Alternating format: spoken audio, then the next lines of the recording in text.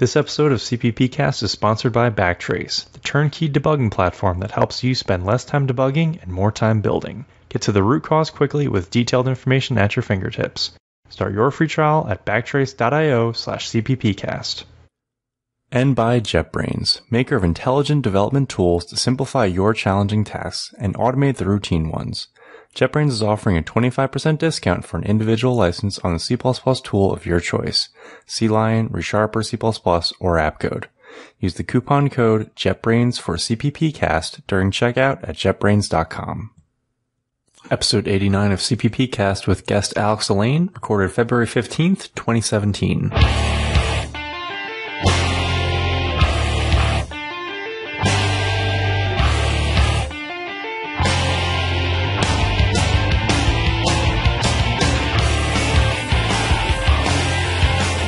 In this episode, we discuss undefined behavior in C++. Then we talk to Alex Allain, Director of Engineering at Dropbox. Alex talks to us about Djinni and his book, Jumping into C++.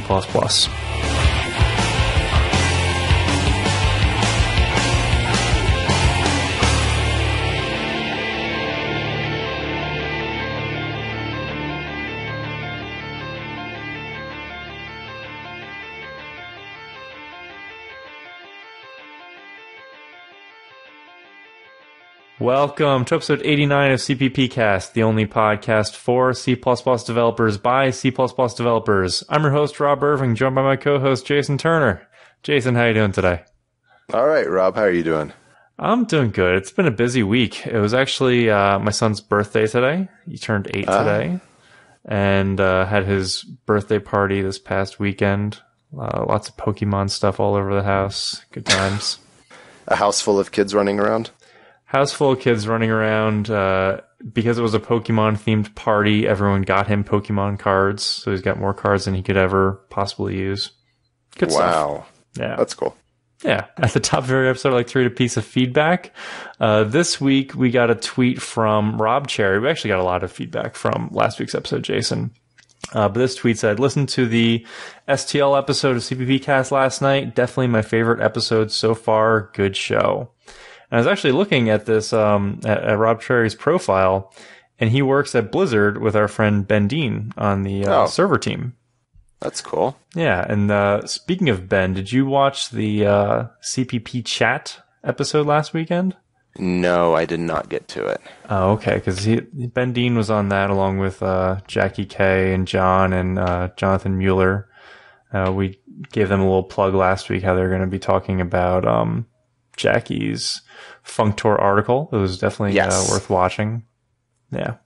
Uh, and uh, by the way, I, I was going to say, I'm happy to say I, I don't feel embarrassed for not understanding some of the uh, more complicated aspects of Jackie's article because uh, Jonathan, uh, John Kalb also said uh, a lot of it went over his head. oh, that well, I was going to say I've heard from several people that um, the STL episode was their favorite so far, also. Yeah, yeah, we got a lot of great feedback, and uh, I would love to have him on again. I, I, think there were a lot of questions we didn't even get around to asking because the interview uh, got to that hour timestamp, and uh, but yeah, we'll definitely have to get him back on. Yeah, yeah. Well, anyway, uh, Rob Cherry, we're gonna get him that JetBrains giveaway uh, that we mentioned last week. We're giving away licenses to uh, one of the JetBrains products, so we'll get him in touch with Anastasia from JetBrains, and we'd love to hear your thoughts about the show as well. You can always reach out to us on Facebook, Twitter, or email us at feedback at cppcast.com. And don't forget to leave us a review on iTunes. Joining us today is Alex Allain. Alex is a director of engineering at Dropbox. He was one of the first engineers on the Dropbox business product before leading Dropbox's product platform group, whose initiatives included the Dropbox Sync Engine, shared mobile C++ and developer tools, Alex has run cprogramming.com since 1998 and is the author of Jumping into C++, a book for new programmers.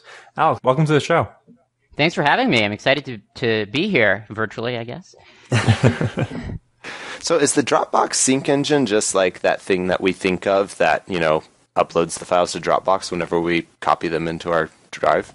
That's exactly right. Yeah, it's um, there's you know, when you put it that way, it sort of makes it sound easy, but it turns out to be one of the one of the really, really hard things to do in the Dropbox product. You know, sometimes people ask, is it, you know, uh, a UI on top of rsync? And, um, I mean, sure, like we're syncing files, but uh, getting it right, especially at scale with, you know, tens or hundreds of thousands of files Sure. and doing that fast across a bunch of different operating systems is, is pretty tough. Um, it's one of the most interesting parts of our code base, you might say.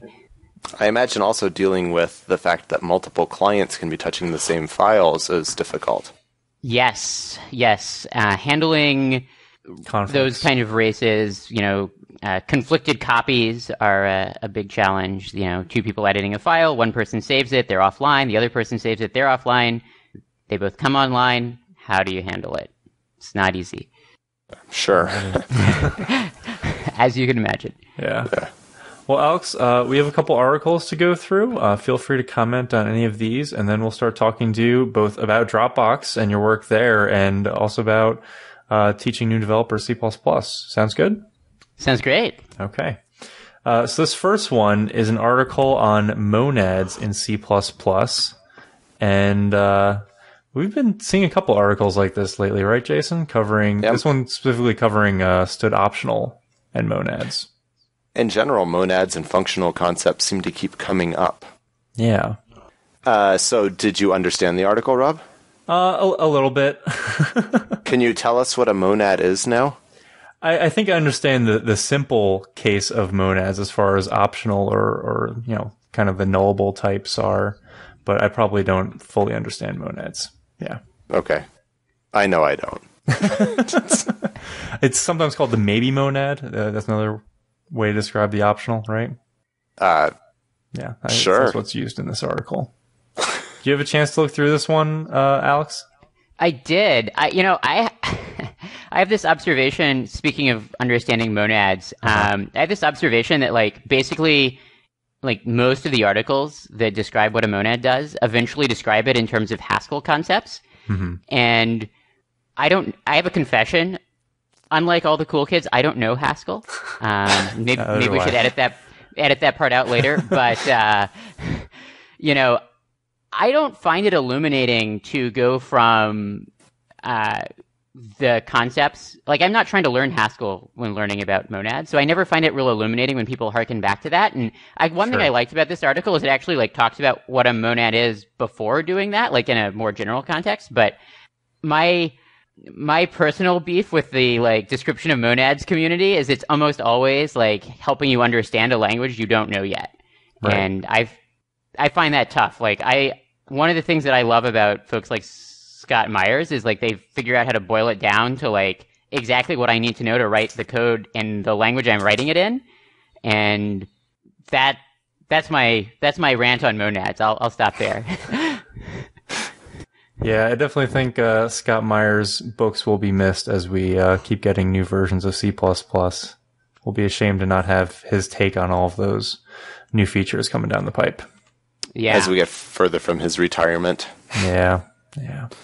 You know, you mentioned that you didn't know Haskell, and I had completely forgotten that I had actually gone through the first few chapters of Real World Haskell and wrote, written blog articles on them several years ago.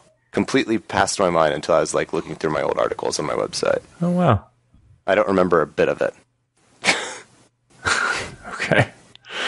Uh, this next one is Comms Champion, and it is a protocol buffer library specifically developed for the embedded community. And seems like the type of thing that um, some of our past guests who talked about embedded development would be very interested in. Uh, it's built for C++ 11, and uh, it's very template friendly, embedded library uh, made for programs that might be running uh, directly on bare metal. Uh, did you have a chance to read through this one, Alex? This one's not in my wheelhouse, Sure. so I don't I don't have a lot to a lot to comment on here. How about you, Jason? You have a chance to look at it yet? No, I, I didn't manage to get to it, unfortunately. But I can imagine it would be interesting to get someone like Odin's take on it, since Yeah, that's kind of his specialty. Yeah. Okay, and then this last one is undefined behavior in C and C++ programs. And this is a, a very long article that kind of goes in depth of uh, this programmer and his experience with undefined behavior, both on a kind of a personal level, but some of the problems he's seen over his career and how learning about and understanding undefined behavior uh, has helped him as a programmer and can help others as well. And, uh, you know, I thought it was pretty useful. Um, just to understand kind of why we have undefined behavior in C++ and C um, compared to some other languages. What do you guys think on this one? I think it's a pretty important article for yeah. C++ developers to read, honestly. And I love the uh, sound effects that he put in here, straight from old school Batman. Blammo, kapow, bang, kaboom. I was wondering what you meant by sound effects for a moment. You mean the comments, yeah. Yes. Yeah, I, I just want to jump in. I really loved this article. Um, I thought it was extremely clear and well written. And yeah. one of the things that I appreciated, you know, sometimes you sort of see these like cases where the compiler optimizes out this incredibly important check and it introduces some security vulnerability or whatever. And it's like, why would you do that? And this article sort of helps you sort of get uh, get your head around a little bit, like, hey, why might that be a reasonable thing for the compiler to do? Right. Um, and so, and I just really liked the, the clarity of it. I, you know, sent the author a note. Uh, actually, I think it's a she, um, but okay. uh, just uh, told her that it was really fabulous, and uh, I was impressed. Yeah. Okay, well, Alex, let's start talking. Um, first, I actually wanted to ask about Dropbox and Djinni because uh, when we first uh, got introduced to you after we started talking about wanting to have someone on to talk about, um, you know, new developers uh, learning C++, uh, I realized that you were working at Dropbox and you gave one of my favorite talks at CppCon 2014 where Djinni was introduced. So for listeners who haven't heard of that, could you maybe tell us a little bit about Djinni and let us know if any updates have been made since that CppCon talk? Yeah, absolutely. So the context here is uh, Djinni is effectively a code generator for generating bindings between uh, languages. So the, the first use case was uh, basically generating the, all of the JNI code to communicate between C++ and Java on uh, Android. Right. And so the idea behind Djinni is you write an interface definition file, you run Djinni, it spits out, you know, sort of both sides of the interface, does all of the, the marshalling and unmarshalling and all of that. Um, you know, similar to something like Swig, but uh, we think it's nicer. Um, and the motivation for Djinni was we uh, we were working on a number of applications a- internally where we wanted to share logic. And on the desktop, we use Python, um, and sometimes that surprises people. Can talk more about that if people are interested. But um, on mobile, we you know the best choice that we can come up with for cross-platform is C++. But we wanted to be able to share the same.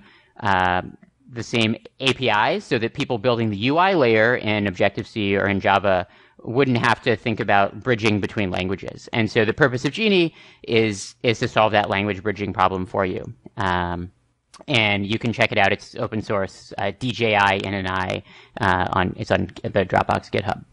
And so, in terms of updates, you know, we haven't made a ton of updates over Djinni in the last year. Uh, we do have experimental Python support. Um, that was an intern project a couple years back for someone on my team. And uh, we don't actually have any current plans to sort of like push that all the way to the finish line. What would motivate us to do that primarily would be using more uh, shared libraries on the desktop client where we'd want to be able to uh, share it across mobile and desktop. And that hasn't, as it turns out, just hasn't been a, a major priority for us. Uh, but yeah, we still use Djinni. Um, you know, it's particularly good for like shared libraries and things where you just don't want to write write things twice. Um, and of course, if you're writing your whole app in C++ on mobile and you want to have a UI layer, it, it can really help a lot. Um, Go ahead, Jason. Since you brought up Swig, how how do you compare it to Swig? Then you said you think it's better. Let's uh, dig into that. Yeah. So as a disclaimer, I'm not an expert on Swig, but you know, generally speaking, my understanding is sort of the primary way you use Swig is to sort of like annotate existing C-like code to make it callable from other languages. So you've kind of got this existing interface that, that then you're just doing the bare minimum to bridge uh, to bridge the the language gap. Uh, and Djinni sort of has this principle that you know your interface should be written in the Djinni IDL in a clean way. Uh, we support um, some really nice programmer ergonomics. So you know if you have an array list in Java on one side of your interface, that's going to show up as a vector of uh, of whatever you have you know on the other side. Um, and so the programmer doesn't need to do a lot of extra work when passing things around that are like more complex types. It just it just works, as as we like to say about Dropbox in general. Um, this means there's a little bit more copying, obviously, um, but the feedback we get from folks is it's really nice. Um, the other thing is, you know, that emphasis on the interface being something that you really think about and create, rather than kind of taking tacking on bindings to something that's been written in another language. Um, I think you can create interfaces in Swig. To be honest, we didn't know about that when we first started working on Djinni. um, but, you know, we, we still sort of prefer the Djinni model. We think it's a lot cleaner in general. Uh, yeah, you can either directly parse your header files or provide an interface, but it, it's not a distinct IDL. It's still kind of a C++ like thing that you pass it. Right. So you, you said that it started with Android and JNI. Uh, I guess you added the Objective C and iOS support later. Um, I know you didn't mention Win32 or, or C++ CLI. Have any like third party uh, open source developers ever thought of contributing to to Djinni And, and do you accept contributions from uh, open source developers? Yeah, great question. So I don't think we've had anyone who's made any changes that are that large, okay. but we do accept open source contributions. I think on GitHub we're at about 35, 38 committers total. Mm-hmm. Probably most of them are external. Um, and we've had a few folks making pretty large changes. Um, trying to remember some of the big ones, but it's it's been a little while um, since I since we had like a really major set of changes there. But yeah, it's open source, and so if somebody's excited to go and add support for, uh, well, you know, if they want to finish Python support, it's a good first one to work on. Uh, we'd, we'd certainly be excited by that. So now I'm curious, does uh, Dropbox have other open source projects that you've been involved with? Uh, we have a number of open source projects. Um, you know, the ones that I've been involved with have been more on the C++ side. So um, we have another library. It's pretty small. It's called NN for non-nullable, and it's basically a non-nullable pointer type. So you can, uh, you know, basically it allows you to have like NN of a shared pointer, for example, and then you have a guarantee that uh, it's never null. And so when you take you ingest your pointer, you have to sort of do a check and say like, yes, this is we promise, like honest to God, it's not null. Uh, but after that, you have the type system enforces this uh, for you. It's a pretty small library, but um, it's something we think is pretty cool. We've used it a lot in our C++ code to make it safer. And uh, if I remember correctly, uh, I think Jacob Potter, who's the author of that, uh, did a talk at uh, CppCon 2015, I believe. Okay. so that might be something to check out. We also have a bunch of other um, open source projects. Um, we've open sourced a number of we, we use go as well internally. We've got a, a number of uh, go projects and uh, trying to remember some of the other other big ones but uh, oh yeah one of my favorite projects um, this one is actually open sourced under uh, under the python community github but it's called mypy and it's a static uh, static type checker for python so pep 484 introduces a syntax for providing annotations to functions and uh, to provide type annotations. And so we actually have a team at Dropbox that's working on uh, building support for that into MyPy, which I think is another really cool project that we're working on. So that's interesting. Is that kind of like a progressively typed or partially typed thing, or would you have to do fully typed if you went down that road with your with your add-on? Great question. Yep, it is a, um, pr- uh, what was wait, wait incremental typing or, or partial okay. typing. Okay. Uh, and the type system has this notion of if it's not typed, it has a special type that's consistent with other types. So it's very easy to add a type somewhere. And as long as you, um, if you haven't annotated your other code, it'll continue to work. If you do annotate that code and there's a conflict, it'll suddenly tell you, hey, there's a conflict. And you can also do things, I, I believe we have a mode where you can run it that says like, don't allow that special type to exist so that you can have full typing if you if you want to. Oh, gradually type. That's the that's the right term. Gradual typing, right? Like TypeScript does. Yes. One more question about Djinni before we move on. Um, do you have any sense of like how many other application developers might be using Djinni? Because I, I know when we talk about uh, you know cross-platform mobile, unfortunately C++ is usually kind of an afterthought in the general programming community. Um, usually people are talking about JavaScript or, or Xamarin, mm-hmm. but uh, you know, we as C++ developers uh, think it's great, and, and these tools like Djinni and Swig definitely make it easier. Do you, have, do you have any idea of how many apps are using it? I don't know the number. Uh, okay. Uh, we've got a pretty large, you know, number of people starring Djinni on GitHub. It's maybe 1400 or so, so it's not okay. super small. Um, and, you know, I, I, did a Google for Djinni recently, and there's definitely folks who are writing tutorials on how to use it. And, oh, um, so, I, and a couple of different companies, uh, I believe, I believe Slack may be using, uh, Djinni actually. And I think we've we've heard about a few other companies, but uh, I don't know the full the full list. Okay, I'm curious what it would take to go from an existing code base to Djinni too, if that would be uh, a lot of technical debt to go over. Yeah, my, I think that it's definitely one of those things where you have a new way of doing something, and so it's going to clean up a lot of your code. You know, we did have a bunch of hand rolled stuff yeah. before Djinni existed, and so we sort of had to gradually um, replace it. You feel a lot better at the end of the day because a lot of like, uh, you know, like any code generator, you've got all this crap that is probably works, but it's you know 20 lines to move like a string across languages, and you don't feel great about those kind of things. Sure.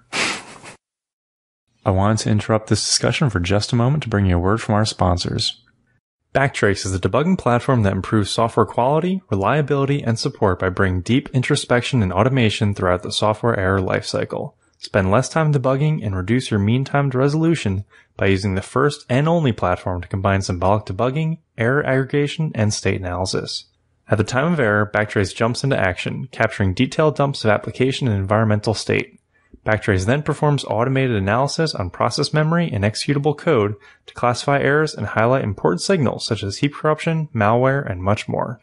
This data is aggregated and archived in a centralized object store, providing your team a single system to investigate errors across your environments. Join industry leaders like Fastly, Message Systems, and AppNexus that use Backtrace to modernize their debugging infrastructure. It's free to try, minutes to set up, fully featured with no commitment necessary. Check them out at backtrace.io slash cppcast. Okay, so uh, we also mentioned cprogramming.com in your bio, which I'm sure all of our listeners have landed on at some point uh, during their career when, when Googling for an answer or something. Um, could you tell us a little bit about the website and how you got started running it? Yeah, absolutely. So cprogramming.com's been uh, been around since 1998.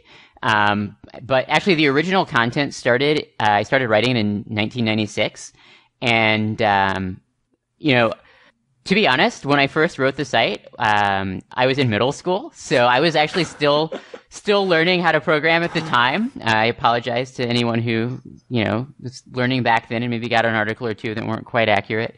Um, but I find that I personally learned really well by writing, and there were a bunch of good programming sites on the internet, even even back then, and it sort of inspired me to say like, hey, people are actually interested in this stuff. I think I can write about as well as as these folks, and it helped me a lot to get understand the concepts. And um, I think it's actually helped a ton of people. And one of the things you get when you do this is you get um, you you have empathy for the the person who's starting out, and you know, I think a lot of times it's really easy to get lost in all of the complexities of the language and not focus on the really like core stuff that just beginners don't have the basic concepts. Um, and the site's gone through a ton of evolutions. I've rewritten like almost all of the content, I think two or three times now. And, um, I'm, you know, very happy with with where the, the C and C++ tutorials have landed. Although the real true final version of those tutorials is uh, jumping into C++, my book. And the goal that I had when I wrote that was to go from a series of individual disconnected articles to something that was really a holistic, I'm a new programmer. I don't want to have to look everything up in different places. Just take me through the whole journey of going from I don't understand how to program to I can make a computer go and do stuff. And so you know, the site's evolved a lot and, and for me, the core of the site has always been those couple of tutorials and, and wanting to make that better. It's got a bunch of other content on it, um, because as I've, like I said, when I learn things, I really like to write about them. So as I've gotten into different areas, I've, I've written a bunch of tutorials in those spaces. I'm particularly happy with the C++ 11 tutorials that I wrote. Um, and then we have a message board with a pretty active community as well. That's been been fantastic. You know, many many people over, I think almost almost the entire lifetime of the site now um, have been participating, and and it's really cool to see those kind of communities spring up and have people who've been working uh, working to help teach other programmers for you know 15 or 15 or more years. Wow. Well, you just mentioned your book. Would you like to talk any more about that? Uh, sure. You know, I think that. Uh, so I have a very strong opinion about uh, how I like to learn, and it is I like to get a book that takes me through all of the topic in a way that is is thought through and consistent and coherent. And so I really wanted to write something that matched that with for C++. And you know, there are lots of there are lots of introductory books, but um, I felt like there was an opportunity to write something that really took people holding their hands enough to really understand things, but that was really also pretty comprehensive and covered a lot of the challenges that I think people have when they're learning C++ in the first place. You know, pointers are like a difficult concept for beginners and I think really scary yeah. for a lot of people. And, you know, the, I introduced pointers with, don't worry, it's okay. I'm sure you've heard they're scary, but I'm quite confident you can learn it. You know, like you can you can have all of the the the technical bits you want, but I think there is a little bit of that human element as well. Like I am a, a reader trying to learn this thing that's hard. Like please make me feel like I can actually do it. And so I, I the book brings a little bit of that as well. It tries to be more um, have a little bit more of a personality than maybe some drier technical books do. I mean, it's there's only so much you can do to make writing about programming like feel like a novel, but. Uh, but I, I, I, did try to get some of that across. Um, and I'm, I'm really happy with the book. Like, I think it's a great way if, for people to learn C++ if they're a new programmer. The truth is, it's really optimized for new programmers. Um, so most of the, uh, this audience is probably not going to get a ton out of it. Um, but if you are somebody who's just getting started with C++, it, it's, it might be a great way to, to learn. Um, the other thing is it's definitely intended for people who haven't programmed before. So I try to cover a oh. lot of material that's um, that might show up more in like an introductory class that I think is just kind of good good to know how do data structures work how do how do you actually think about writing an algorithm one of the hard parts for a new programmer is just I don't know where to start. I've got a blank text file and I need to turn it into something that'll do a thing. Like, how do I break that down?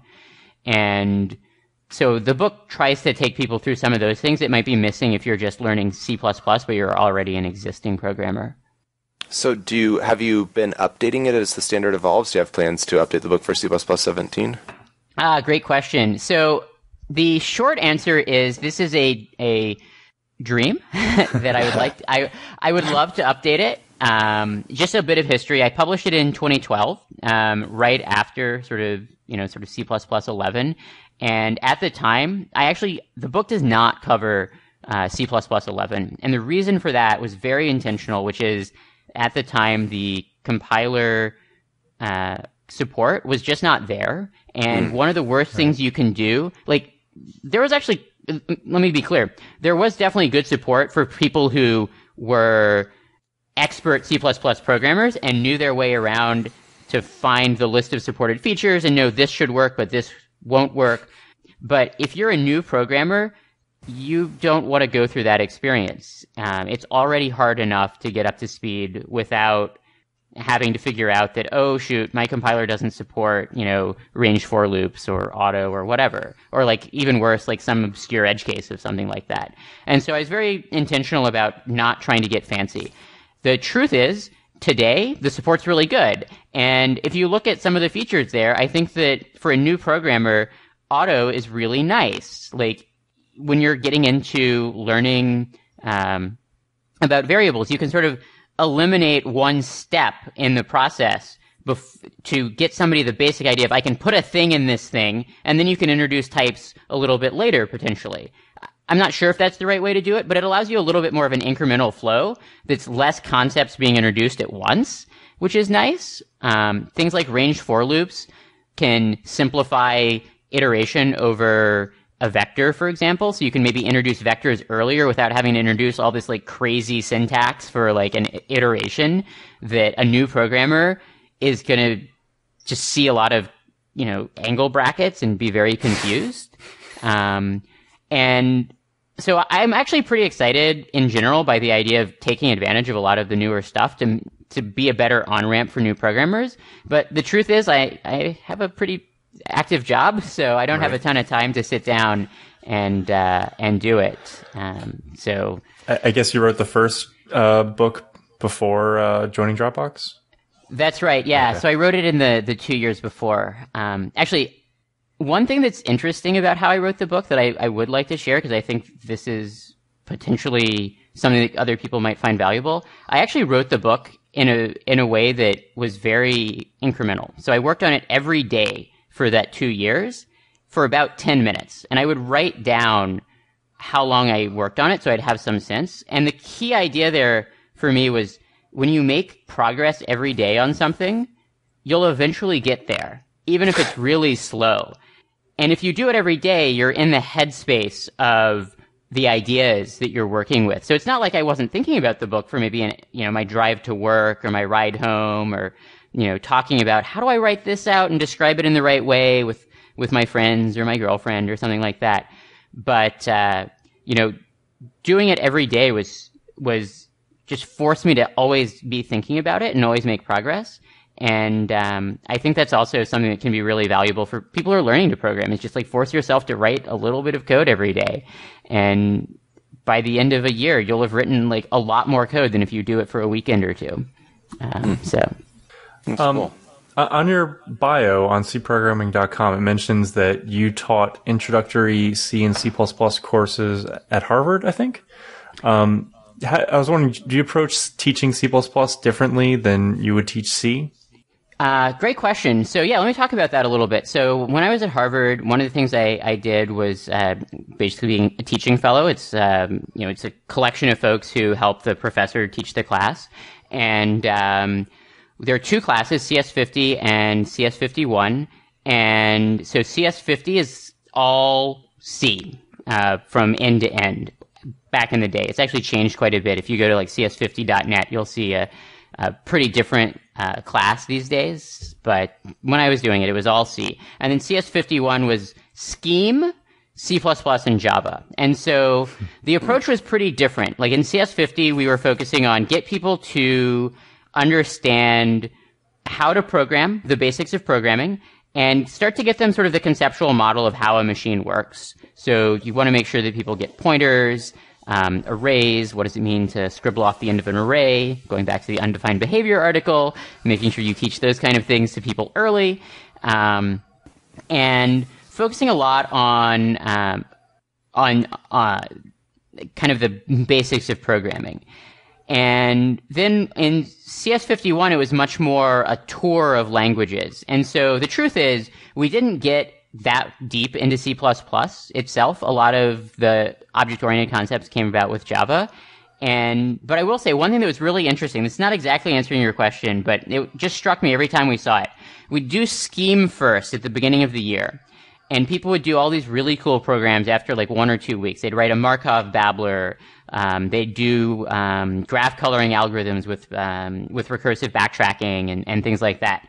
And then we'd get to C++, and it was this was the thing that made me really sad. We'd hit C++, and people would just take so much longer to write um, really basic stuff because there was so much more complexity in the the language.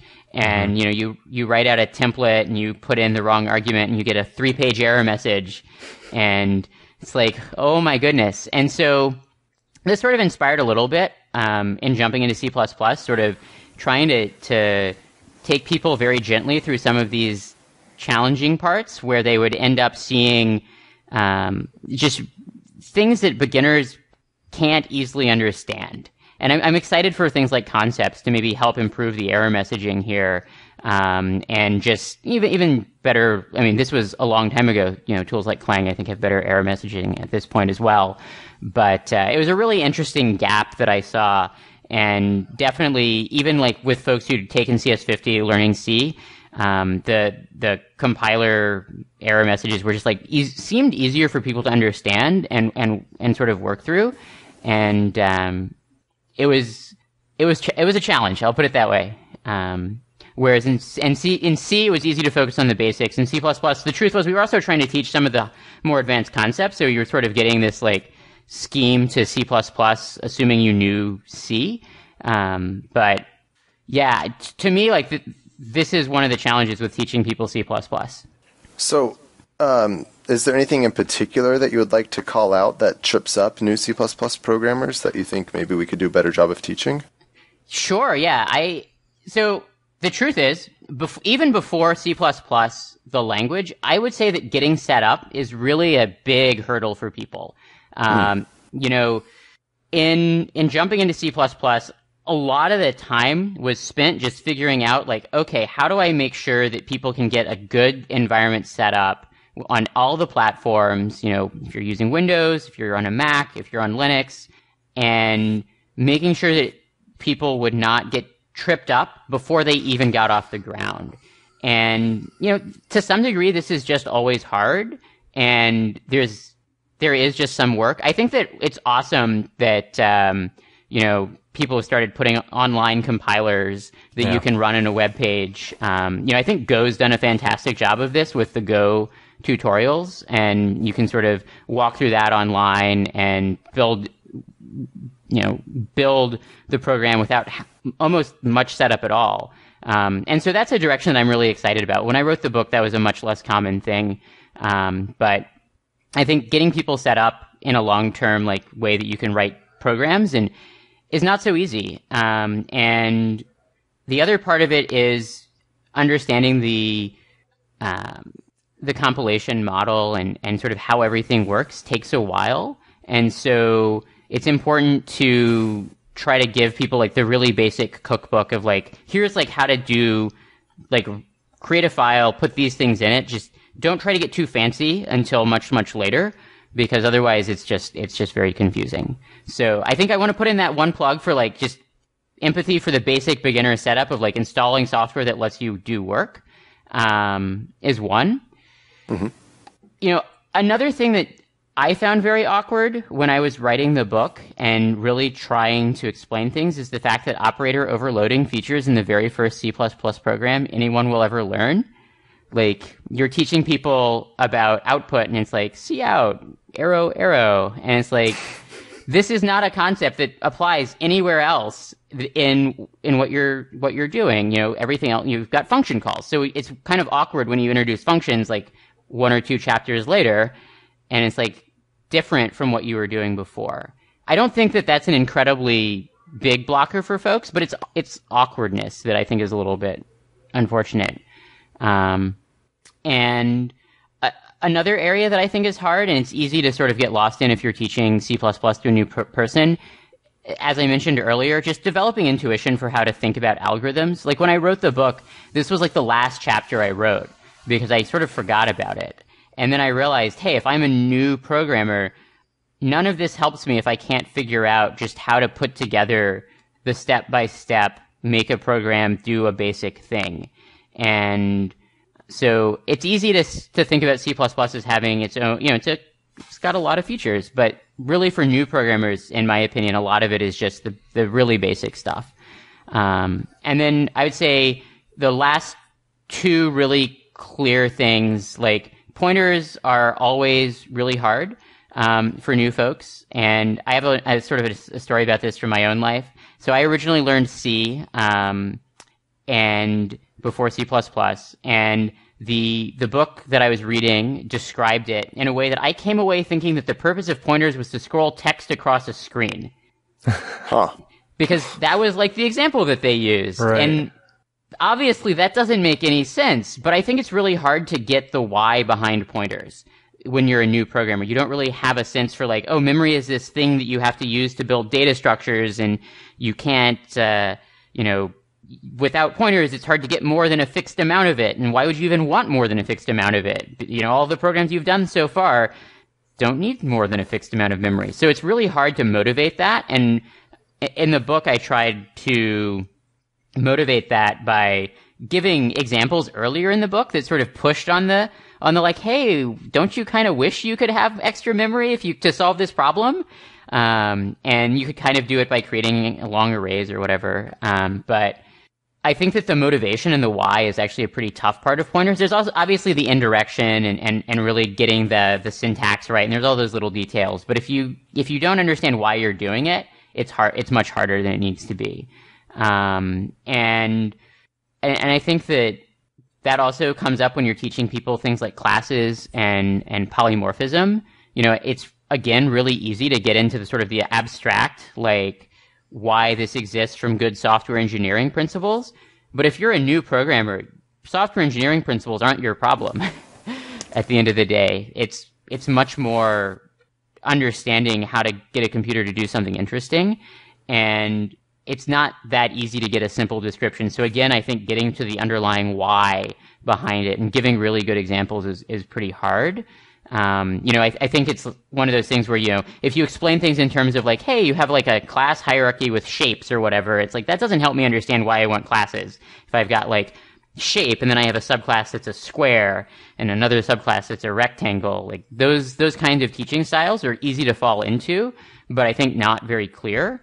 Um, versus, you know, you want to be able to have this function that can operate on, that can behave differently based on different inputs. And so you have polymorphism to allow that to, you know, to happen. Um, so those are, those are things that I think really trip people up. Um, and I would say the biggest, if I were to boil it all down, there's two things. One is, three things. One is setup. Two is thinking about how to go from nothing to something. And then the third is explanations that really boil things down to their constitu- to the underlying why in a way that somebody who doesn't have a ton of existing context can appreciate. Um, and so that usually means giving some really good examples. Um, but those are things that I think often trip people up. It's interesting that you mentioned the, the setup because I, I don't I don't think that came from the book when I learned C++. I'm sure, you know, the instructor told all the students how to go about setting up their, you know, compiler and everything, but I don't think that came from the book. So I, I take it you explain it, point them towards a compiler that they can use, and you actually encourage, you know, using actual code examples as they go along. Oh yeah, yeah. So, so this is one of the things. Um, if you have a class and an instructor, then that's awesome because you don't have to worry about that. But for a lot of new folks, uh, I think a lot of folks who end up reading, jumping into C++ or hitting cprogramming.com, they don't, they either don't have a class that they're learning from. They're very self-motivated learners, which I think is awesome. Or they may have a really bad lecturer. Uh, and, you know, it's not easy to be a great teacher or even a good teacher. And so there are plenty of folks out there and I actually love the idea of empowering folks to go and, and, and teach themselves to program because that's kind of what I did when I was growing up. And it, I just, it was a very large part of my childhood, I guess. Um, but, but for those folks, it's really hard. And so the, the book has literally like screenshots. Like, this is how you set up your first project and, and like on Windows, on Mac, on, on Linux, and walks very, very carefully step, step by step. And and to your point, yeah, I think it's really important for people who are learning to program to not just read. You have to write code. You have to like take the example code, break it, like figure out what's wrong with it, fix it, tweak it. Really get, getting the hands dirty is really important. Now, I'm kind of curious now for maybe just a little bit of nostalgia here. You said you got started in like 97, 98 in middle school? Mm-hmm. Is that a, okay? What compiler did you use when you were learning C or C++ then? Uh, TC Lite. TC Lite. I, well, I don't think I'm familiar with that one. It was a Borland uh, compiler. Oh, it's a turbo compiler. Okay. Yeah. Yeah, turbo turbo C. Turbo C++. Okay. Yeah. It, okay. I, uh, it was it was pretty good for for what it provided. Yeah. Yeah, definitely. So, are there any um, new features that you're looking forward to in uh, C++ 17, or any modern C++ features that you, you think are particularly good for new programmers starting out? Uh, that's a good question. Uh, disclaimer here: I haven't been following the standards process super closely recently, um, but uh, like as I mentioned earlier, I think some of what uh, what I've seen from the idea of concepts and concepts lite and sort of like it, it seems like it has promise for helping with new programmers and sort of simplifying concept simplifying concepts simplifying error messages things like that i i I haven't dug deeply enough to really have a strong opinion on this. Um, I do remember uh, Bjarne giving a great CppCon talk where um, it was it was the the impression that I came away with, and unfortunately I can't give you a great example off the top of my head, was like, wow, I see exactly why this will make things easier for people, to, not just who are expert programmers, but who are new programmers, and that that got me pretty excited. But uh, I haven't dug deep enough to have a really strong uh, a strong opinion. Okay. Okay. Jason, do you have any other questions? I think that covers it for me. Okay. Well, Alex, it was great having you on the show today. Um, where can people find you on Twitter or uh, or online? Sure. So my Twitter handle is Alex Allain uh, at or or whatever. So that's a great place to find me, and uh, I'm always happy to answer questions via email, which is webmaster at cprogramming.com. Okay. Yeah, obviously uh, people can find you email at there. cprogramming.com, and, and we'll put a, a link to uh, to the book as well in the show notes. Awesome. Well, yeah, thanks so much for having me. This was fun. Sure. Yeah. Thanks for joining us. Yeah, thanks for joining us today. Thanks so much for listening in as we chat about C++. I'd love to hear what you think of the podcast. Please let me know if we're discussing the stuff you're interested in. Or if you have a suggestion for a topic, I'd love to hear about that too. You can email all your thoughts to feedback at cppcast.com. I'd also appreciate if you like CPPcast on Facebook and follow CPPcast on Twitter. You can also follow me at Rob W. Irving and Jason at lefticus on Twitter. And of course, you can find all that info and the show notes on the podcast website at cppcast.com. Theme music for this episode is provided by podcastthemes.com. Website at cppcast.com. Theme music for this episode is provided by podcastthemes.com.